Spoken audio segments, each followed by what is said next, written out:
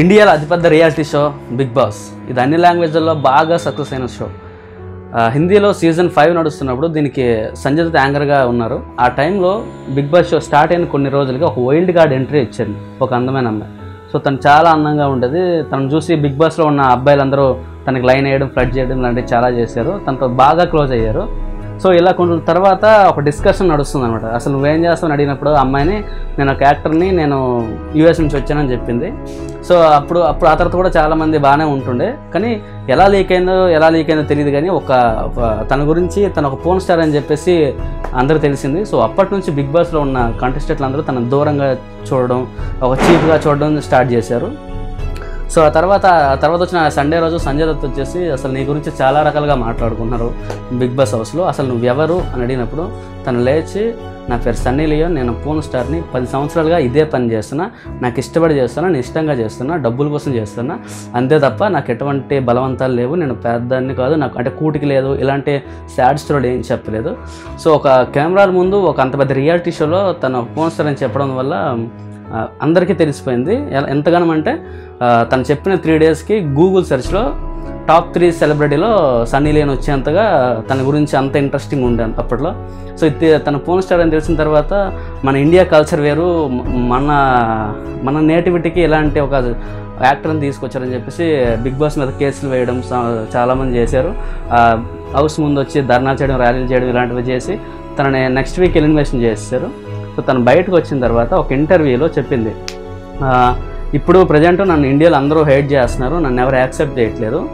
But ఏదో ఒక రోజు అందరూ నన్ను యాక్సెప్ట్ చేస్తారు. సో ఆ రోజు కోసం ఎదురు చూస్తున్నానని సన్నీ లేని చాలా బలంగా చెప్పింది. సో ఇలాంటి ఇంట్రెస్టింగ్ మ్యాటర్ చాలా ఉంది. సో ఇంకెందుకు ఆలస్యం? So welcome to super deluxe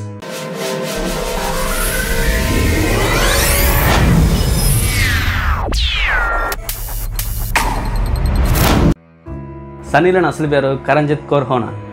వాళ్ళ మదర్ది ఇండియా తన ఫాదర్ది కెనడా. సో వాళ్ళ ఫ్యామిలీ మొత్తం కెనడాలో సెటిల్ అయిపోయారు. తను కొంతకాలం పాటు కెనడా ఇండియాతో అలా ఉండేది తన ట్రావెలింగ్ మొత్తం. సో కెనడాలో ఉన్న వాళ్ళ ఫ్యామిలీ మొత్తం యూఎస్కి షిఫ్ట్ అయ్యారు.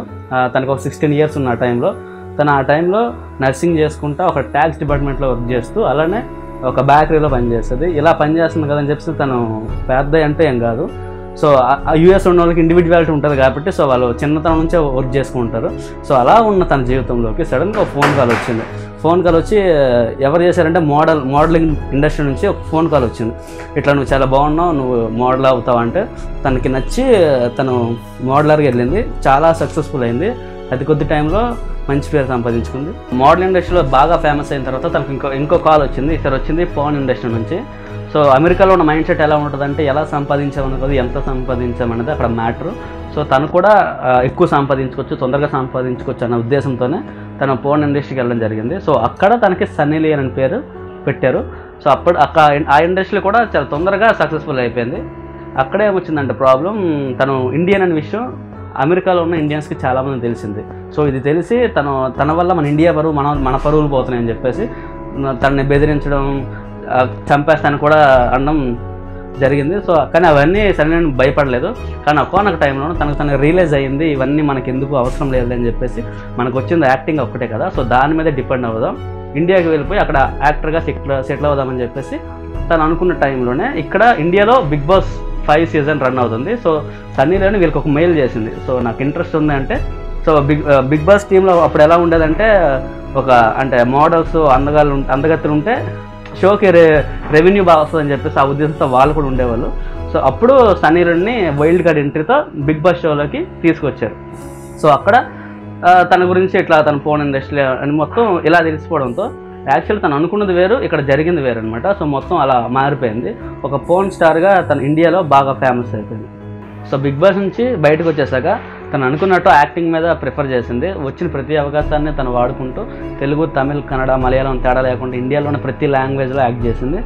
అంటే ఎంతలా అంటే తను ఒక బాత్రూమ్ సీన్ నుంచి మన్నికర్ణిక అని చెప్పి ఒక హిస్టారికల్ సినిమాలో లీడ్ రోల్ వెళ్ళేంత వరకు కూడా తను ఎదిగింది. సో అలా సక్సెస్ఫుల్గా ఉంటూనే ఒక యాక్టర్గా సక్సెస్ఫుల్గా ఉంటూ తను చారిటీలకి డొనేట్ చేయడం ఒక తన భర్త నొప్పించి ఒక చిన్న బేబీని కూడా దత్తత తీసుకోవడం కూడా జరిగింది.